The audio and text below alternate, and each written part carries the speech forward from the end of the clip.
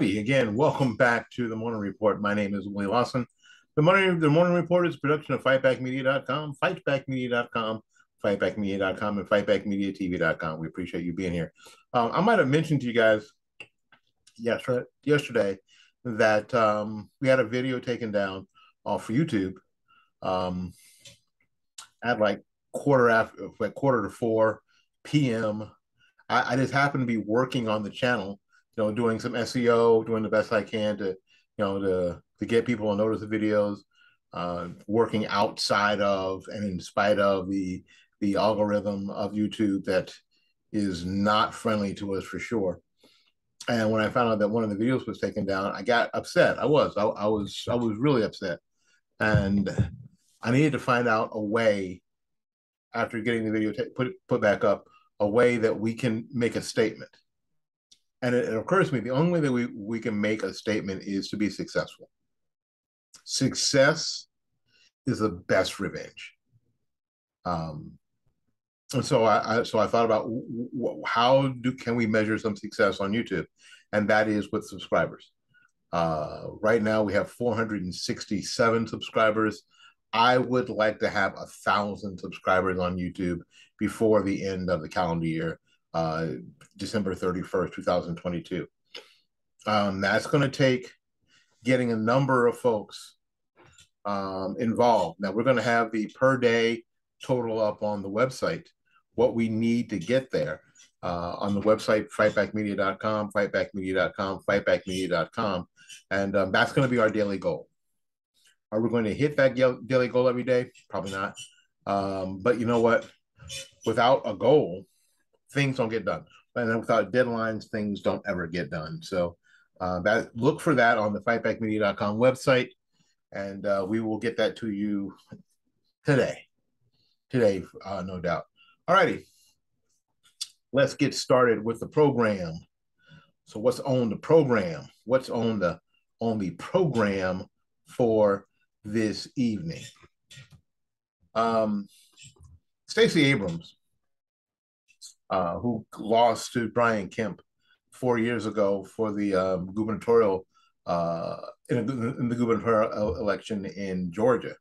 Uh, Brian Kemp had been the attorney general, and Stacey Abrams was the first black woman uh, who won the nomination uh, for the Georgia top spot in the history of Georgia. So, congratulations to um, Stacey Abrams. Um, Stacey Abrams lost in a very close election and then decided that she didn't lose, that this was stolen from her, that there was election fraud, and on and on and on, which is amazing that she they just came out and said that there was election fraud and there was, you know, Republicans stole the election from her. Now, those statements were never pushed, YouTube never pushed back on them, Google never pushed back on them. Um, Yahoo never pushed back. None of the major Facebook, um, Instagram, none of the Twitter, um, TikTok, none of the major social media entities pushed back on those statements ever. Although they were say she was saying the very same thing that Hillary Clinton said. She was saying she, she, she was saying the very same thing that Donald Trump said, but she was allowed to say it the video that was taken down and put back up was a video that claimed that I was spreading misinformation about just that. But anyway, Stacey Abrams and uh, and her ilk hit another snag uh, last Friday as U.S. District Judge Steve C. Jones upheld uh, the state's voting law. Remember the state's voting law? Uh, the state's voting law basically tightened up uh, how elections were done in Georgia, and um, it was it's, it's very same law that Major League Baseball got it so so wrong in their wokeness um, that they that they believe the um, the pablum that this was somehow Jim Crow 2.0 and moved their their All Star baseball game out of Atlanta, Chocolate City, to one of the whitest cities in America, Denver, Colorado. It's it's a head scratcher. It is. Anyway, uh, although the Georgia election system is not perfect, The challenge practices violate neither the Constitution nor the Voting Rights Act of 1965, the judge said in a 288 page order, as highlighted by the Associated Press. Abrams' group, known as Fair Fight Action, brought the lawsuit, which also um, joined um, by was also joined by Care in Action and later by churches. It was originally uh, extremely broad and called for a significant overhaul of Georgia's election system, but by the time it got to trial, the scope had narrowed significantly after some allegations were resolved by changes in the state law and others were dismissed by the court, the AP pointed out about the, the lawsuit's course. The lawsuit was filed nearly four years ago, shortly after Abrams lost to now Governor Brian Kemp in 2018. Uh, he'd been serving as Georgia's Secretary of, uh, of State at the time, though the complaint was amended at, to reflect that the current Secretary of State Brad Raff, Raffensperger in December 2020. This is a voting rights case that resulted in wins and losses for all parties all over the course of the litigation and culminated in what is believed to have been the longest voting rights bench trial in the history of the Northern District of Georgia. The AP also quoted the judge, um, quoted Judge Joseph saying, that same day, um, Kemp from his campaign's account uh, tweeted out an article from the Atlanta Journal Constitution uh, and celebrated how Stacey Abrams and her organization lost in court on all counts, calling out how she lose the lawsuit. The lawsuit. This is what the Kemp said on Twitter. Today, uh, Stacey Abrams and her organization lost in court on all counts. From day one, Abrams has used this lawsuit to line her own pockets sow distrust in our democratic institutions, and build her own celebrity. Not untrue. Not untrue. It, they also said that Judge Judge Judge Jones's ruling exposes the legal effort for for what is really is a tool uh, wielded by a politician hoping to wrongfully weaponize the legal system to further her own political goals. In Georgia, it is easy to vote and hard to cheat. And I'm going to continue working to keep it that way. Like in a lot of places, like in a lot of places, uh, we understood that there needed to be some tightening up of voter laws. There needed to be some tightening up of voter laws. Uh, some organizations, government entities would have to start talking to one another. Let me give you, let me give you a personal observation. My brother-in-law passed away a couple months ago. His name is still on the voter rolls. He may indeed receive an absentee ballot that his wife, my sister-in-law, could fill out and send in. They've been married a number of years. She could copy his signature, and they wouldn't know. It would be awful. It would be illegal. And my um, my sister-in-law is a woman of God and won't do it, but she could. That's a problem. By the time the um, the the general election rolls around, uh, my brother-in-law would have been passed away almost three months. And we're here in Florida. This is a problem. Those agencies need to talk to one another. When a death certificate is, you know, is filed, somehow that person needs to be taken off the voter rolls. Don't you think? and there are all sorts of things going on. You know, unattended uh, drop off ballot drop off boxes. Not a good idea. Now, where I live, and I can just go by where I live, um, there was a drop off box for um, for um, ballots. It was indoors at the um, Secretary of Secretary of Elections, the, second, the uh, Supervisor of Elections office was actually indoors and there was somebody watching it. And at night, it was put away. having them out on dark, you know, in dark, desolate places in the middle of the night is not a good idea. Now, it doesn't. Now, what I'm saying it doesn't mean that anyone's done anything illegal, but is it a good idea? No. And these laws, a lot of them enacted around the country, address those very same types of things. And why wouldn't you want it to be up and things on the up and up? Why wouldn't you be fighting for more stringent ways to keep ways to keep people from cheating? It isn't like Republicans wouldn't cheat. It's too real. Right? It is curious. Very, very curious. Joe Biden compares himself to the devil. Well, that's funny. So do I. Uh, President Joe Biden has been incessantly bringing up abortion in hopes that the issue will save the Democrats from losing their narrow majorities in the House and Senate in the upcoming, upcoming November midterm elections.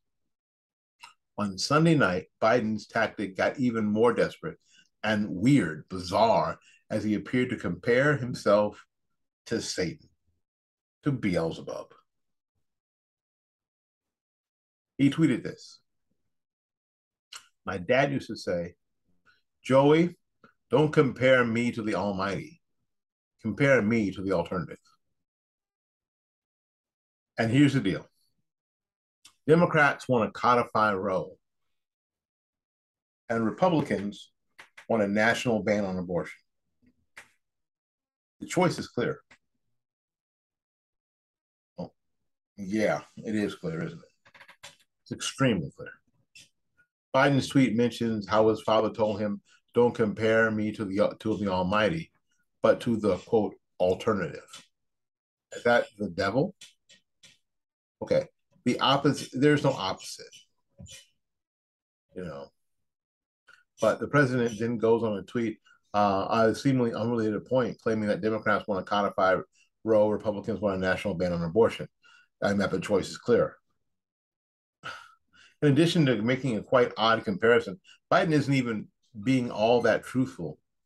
Uh, Democrats don't really want to codify Roe v. Wade, but rather expand it through an extremist legislation known as the Women's Health Protection Act. The bill would not only make it make abortion legal up until birth without limit, it would invalidate pro-life laws passed at the state level. Further, the national ban on abortion that uh, Biden is referring to as a 15-week abortion ban with exceptions to reflect the unborn children um, can feel pain at this point, and that particularly brutal method is also more dangerous for women. Senator Lindsey, Senator Lindsey Graham of, of South Carolina introduced legislation last month. And and and for us over here, um, Graham shouldn't have done that. The idea that um, the overturning of Roe v. Wade was to send it back to the states, not an opportunity for the federal government to come in and make a law and pull that power away from the states. That should have never happened. It was interesting that Biden, uh, who presents himself as Catholic, has brought up faith in the context of abortion before.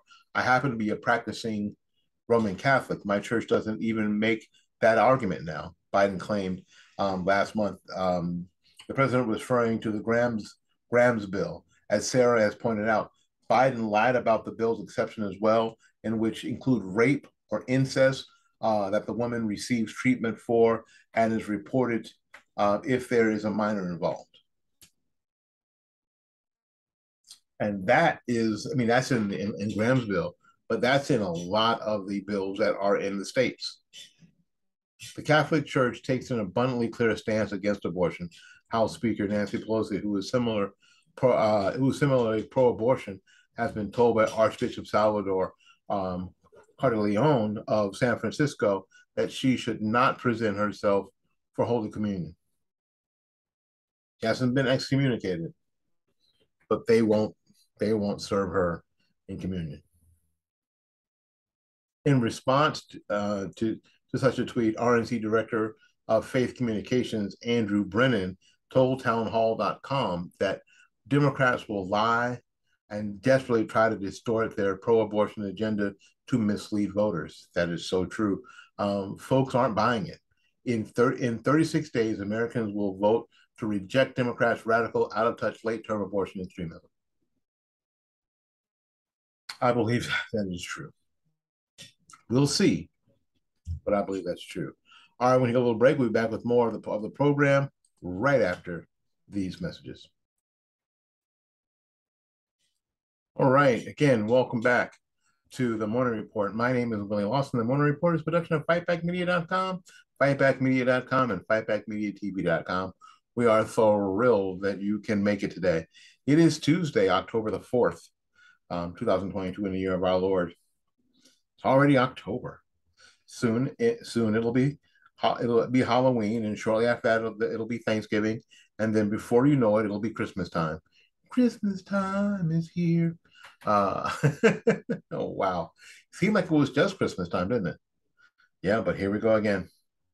Um, now and um, as Christmas approaches, it's time for us to get uh, some rudder pedals from my flight flight simulator. You can't really see it here.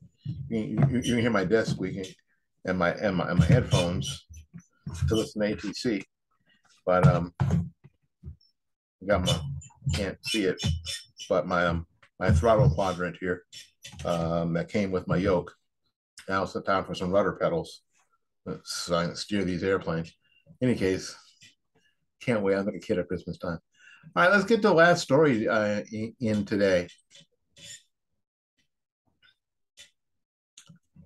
Let's see here. Hammered by a crime wave. Chicago, the Windy City, faces curbs in pretrial detention. That means they are slowing down on people who get arrested and have to wait in prison until or in jail until their trial. Even as Chicago struggles through mounting crime, uh, public safety advocates expect, expect that worse times are ahead as the state is about to severely curtail the pretrial detention a policy they worry that will put more criminals on the on the streets statewide. Already suffering with the with high rates of violent crime for decades, Chicago saw, saw murders skyrocket in 2020 by 55% and rise further into 2021. This year, so far, murders have eased a bit by 16%, but other crimes have shot up. Car theft is up 71%. Other theft is up by 61% robberies up by 17%, and burglary by 25% compared to the same period last year. Um, the city police has been complaining that their efforts to arrest criminals goes, goes wasted because they see them quickly back on the streets. That problem is now poised to become even worse with the state's bail reform provisions coming into effect in January. The reform, uh, part of a large bill called Safe T Act of 2021 uh, primarily denies judges the ability to release defendants on cash bonds. It goes further through several uh, lawyers and law enforcement professionals told the N- NTD television, a media, uh, the media sister of the Epoch Times, uh, the starting in January, defendants would be uh, would only be kept in custody pending trial if their crime they're accused of is specifically listed in the law non-violent offenses and some violent ones don't fall into that category, even for repent uh, for, for repeat offenders. The only crime for prosecutors would have an easy way to keep a suspect detained is when the charges carry life or prison, life in prison sentences, such as murder. Uh, some attempted murders, according to Michael Levinson, criminal defense attorney practicing in Cook County, uh, which it, which does include Chicago. No drug offenders, including dealers or manufacturers would be detainable pre-trial, nor would defendants in any cases that where they could potentially only face probation, such as second degree murder, robbery, carjacking, residential burglary, according to Patrick Kenneally, state attorney in McHenry County, who is suing the state uh, government over the law. Even for most crimes where the law would allow detention, prosecutors would have to prove that the person poses a danger to a specific person rather than the community in general, as in the case as is the case currently. Uh, this seems unworkable from a public safety standpoint, said Levinson, noting that it could be often impossible to really prove that. Uh, he gave an example of a serial carjacker. Maybe they're not really a threat to the person they already hijacked, but maybe they're a threat to the next person. And how do we know what next who the next person is? The requirement also seems unfeasible in courtroom practice, according to Kenneally. Uh, a lot of times, the state uh, is being asked to run these hearings and make these uh, offerings uh, to uh, as proof 24 hours after the defendant's arrest or 24 hours after the crime. We just don't have the time to figure out a specific identifiable person that they are a danger to. And even if such a person can be identified, the law requires that all other alternatives to detention must be deemed insufficient by the judge, such as alternatives include house arrest or GPS tra tracking with an ankle monitor or checking into drug treatment facilities, uh, among others, which are currently recommended in many cases. The incoming law curbs the punishment for violating such alternative arrangements. The defendant, for example, cuts off the ankle monitor and absconds. The current practice is to issue an arrest warrant, which gets the which gets executed by law enforcement to track the person down, or more frequently, um, busing the person uh, during an, a future reoffense or encounter with the law with law enforcement. So if they get in trouble again, they get hit with that charge again. Sounds like it's going to be the Wild Wild West in Chicago for a while, or uh, or Illinois for a while. So when these people say that they're not soft on crime, they're not. They're soft on criminals. They're allowing these folks to end up back on the streets which will only make them more bold and thus make them more dangerous. My name is Willie Lawson. This has been the Morning Report. The Morning Report is production of fightbackmedia.com, fightbackmedia.com, fightbackmedia.com, and fightbackmediatv.com. Until we see you again, go out there and learn something, love somebody, and for goodness sakes, take care of yourself. We'll see you when we see you. Bye bye now.